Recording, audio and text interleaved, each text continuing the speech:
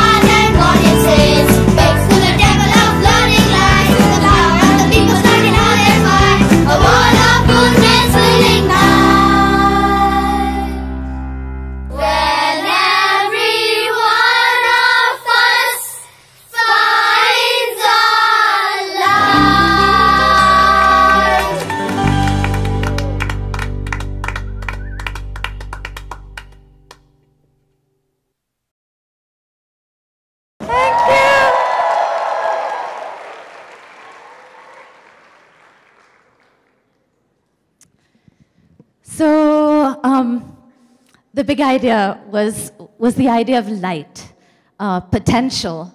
What does it take to spark our potential? If you think a little bit about your own life and the number of people and experiences and time that it's taken for you to be able to be where you are in your life right now, it's sort of staggering.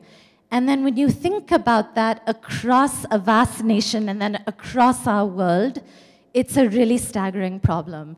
So, the first thing I want to talk to you a little bit about um, is the idea of commitment uh, in, in my world to educational equity, in your world to whatever is actually important to you. Um, I think this may not be working. Thanks. Um, so, this is a number that keeps me awake at night. Uh, that's actually a, a, photograph in front of one of our schools, and you can see the community where our kids live. 90% of children in India today don't make it to and through college. 90%. Yeah? I think about that, and I think about the concept of light and where we were a second ago singing, and I think about like what's going to happen to my country and to our world if we're losing that much human uh, potential. And as I think about that, the other side of that is the idea of leadership, which is an idea that I think has brought everyone in this room together. That really, when you have the biggest problems, the only way we have a chance of solving them is to get enough committed leadership together. And that's really what we're trying to do. We're trying to say that within our country and across the world, are there enough people who can do something to shift that problem? To say that, like I got what I needed to meet my potential and to be happy and successful and fulfilled, how do we do that for every single kid in the world? And the way we do that is we say, come in for two years and teach. And we do this across the world. I'm, I'm linked to Teach for India, but we have teach fors across the world that say, come in and teach for two years some of the most disadvantaged kids and put them on a fundamentally different life path. And I'm going to give you an example of that in a second.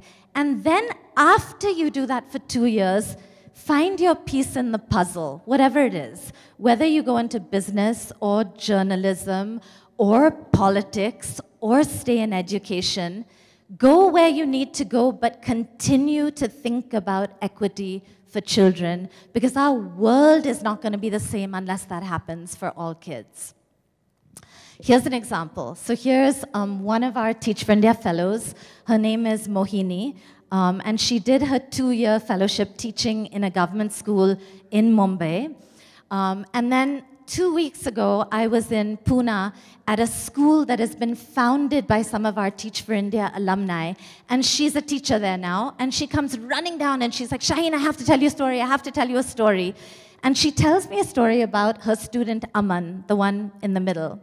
And she says that Aman's school in Mumbai, where she used to teach, ended at class seven. So he didn't have a school to go to from class 8. So he and his friends went to an international school in Mumbai um, called the Lexicon School and said, We understand that under the right to education in India, we can get admission into any school and we'd like to interview. And the office sort of looked at him and said, Kids from government schools don't go to our school. And so he told them, he said, But my Didi has told me about the right to education, and I know that I have a right to apply and interview in the school. Anyway, long story short, these kids interviewed in the school. The school said that they did better than any other kids in the school, and they're now in this international school. Two weeks after that, he calls Mohini and he says, Didi, there's a big problem in my school.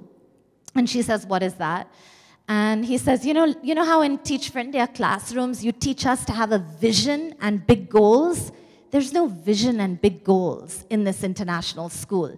So can you send me a PowerPoint on how to train my teachers on how to set a vision and big goals, right? This is a 13-year-old child.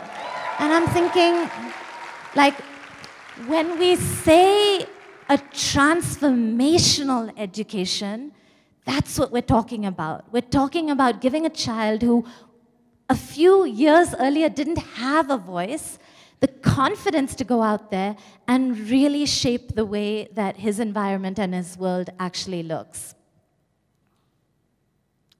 Can you go to the next slide? Um, this is a map um, of all the different Teach For countries. So I know this is a very, very diverse group of people. If you're interested, just go to the Teach For All website and find out whether there's um, a Teach For program, and you can find out more about it in your particular country. But it's an idea that started about 25 years ago in the US, a program called Teach For America and is now a global fight for educational equity where young people are leading change in classrooms and beyond around the world. Next. Next slide, please. Um, so really, I talked about commitment to educational equity, but what I've realized is that it's really commitment to anything that I think is the most important thing to understand. And I somehow feel like in today's world, because there's so much and so much breadth, we've forgotten a little bit what it means to do something really well and in a really deep way. And that's been one of my big learnings that to stick with something, when people ask me, like, what's the best thing that you've done in the last 25 years? The really true answer is only that I didn't give up. I just stuck with the same thing and it went up and down and up and down, but it got better over time. Um, next slide.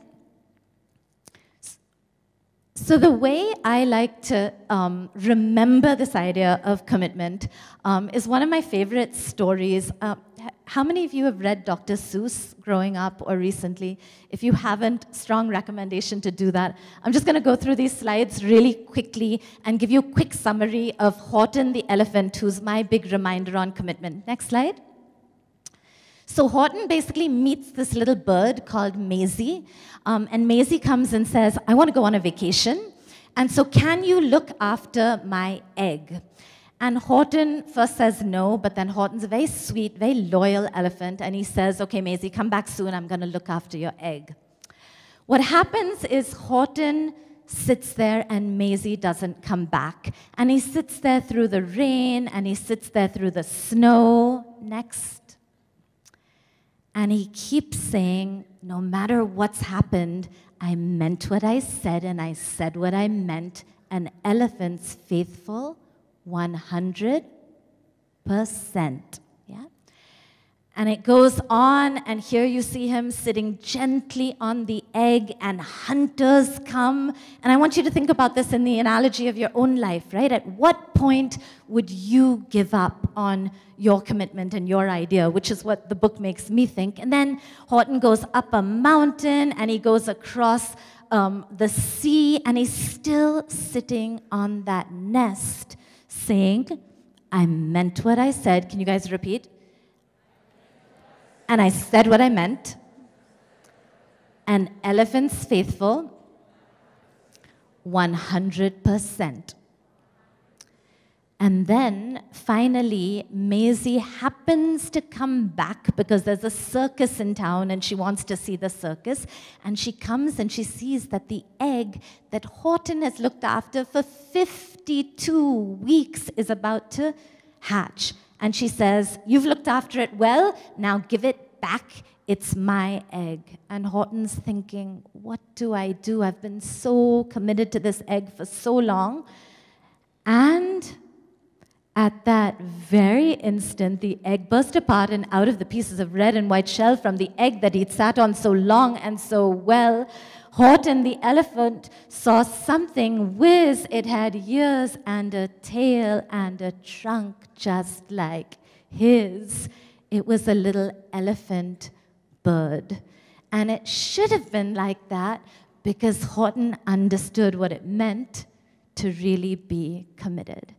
And so that's really my first thought, and I, I say it in a simple way, but I don't mean it in a simple way um, the value of finding that thing that you really care about and then just sticking with it and becoming really, really good at it. My second uh, thought is um, the commitment to personal transformation and my learning. I came into this work thinking that this work was the work of giving. And I've realized that this is not the work of giving. Um, this is the work of, of changing myself. And I think there were references a little bit earlier to, you know, this group here is going to change the world.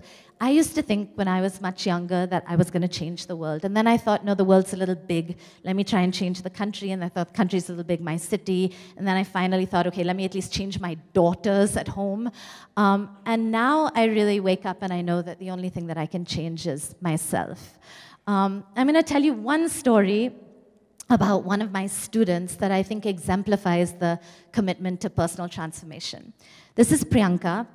Um, and uh, Priyanka's from a very, very difficult uh, background. Uh, when she was very small, her father committed um, murder and he's in jail for life. He escaped when she was seven years old, married another four women, had another seven children. So she's grown up with a huge amount of instability in her life, single mother, um, beautiful, beautiful, smart child. Anyway, she wa wanders into one of our classrooms um, when we were about to stage a musical. She was very, very passionate about theater, and so she wanted to come uh, join my class, and I had the privilege of spending a lot of time teaching her for two years.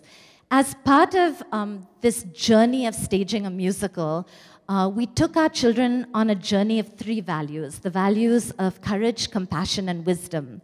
And we said, like Princess Maya in our musical is going to embody these values, we are going to too. So, as part of that, we took the children one day to an old age home, but it was a very difficult old age home for small children to visit because most of the um, people who were living there were amputees, they had um, multiple disabilities. And we took our kids there and we said, for the next hour, just go and talk to any old person who you uh, feel you can connect with. And just go, spend 60 to 90 minutes, talk to them, and then come back and we'll debrief. And the kids had a lot of questions, and I said, no, don't, don't ask questions right now. You take the instruction in whatever way you want, go talk to these people, and come back and we'll talk about it. So I noticed that Priyanka goes over um, to this lady and sits down with her, this old lady. And I walked past five minutes later and I realized that neither of them shared any language in common. So I thought, okay, this is going to be interesting. What's she going to do? 90 minutes of talking to someone where you don't share a language in common. And I thought, what would I do? And I thought I probably would have sat there for five, seven minutes, smiled a little bit, and then got up and moved to somebody else. But Priyanka spent 90 minutes and came back and in the debrief, um, I said, Priyanka, I said, what were you talking about? And she said, Didi, when I realized we didn't have language, I decided to push myself to understand whether you can communicate without language. And I thought, how incredible. This 14 year old girl is pushing herself to think of this. Anyway, she became very close to this old lady, and we went back to visit the home again. And this time when we went back, Priyanka bought the lady a bar of chocolate to give to her. And she also took her teddy bear with her on that particular day. Now, Priyanka's teddy bear was a very important teddy bear to her, maybe because of so much instability in her life. This was a toy who she kept with her always. So she goes to the old lady, teddy bear under one arm, bar of chocolate in the other. And the old lady, I think, mistakenly thought that she had come to give her the teddy bear. So she put her arms out to take the teddy bear, and Priyanka hesitated for a minute, and then she handed her the bar of chocolate and the teddy bear. So again, I thought, value of compassion, how incredible. But that's not the incredible part of the story. The incredible part of the story is she calls me that evening and she says, Didi, I have a confession. And she recounted this whole story to me. And I say, But Priyanka, you demonstrated so much compassion, so much generosity. Why the confession? And she said, No, Didi, you see, if I had really internalized compassion, I would not have hesitated. I thought about that. Like, 14 year old child who at that age is able to have that level of awareness to me, that's our ability to, to change and understand ourselves. And finally, the commitment to collective action, which I think is another part of the reason why I wanted you to hear yourselves singing together and the power of that. Another one of my big learnings has been there's very little that I can do alone. And when you're trying to work for something so much bigger than yourself, I think in today's world, just constantly thinking like, what's the collective piece? How can we be um, multipliers? And, and a few examples of our alumni and how they are becoming multipliers. If you can go back, please. This is Seema, who was another student of mine. Um, again, single parent family, lived in a slum um, wanted to grow up and work in a big office, um, and so applied to business school, got into business school. This was the second year of the Teach for India Fellowship, and she was nervous that she wouldn't get into business school, so she also applied to the Teach for India Fellowship. She comes to me um, a few days later and she says, Didi, I have a big problem. And I was like, What's the problem, Seema? And she's like, I applied to this MBA program and I applied to teach in a government school through the Teach for India Fellowship, and I've got into both. What should I do? Right?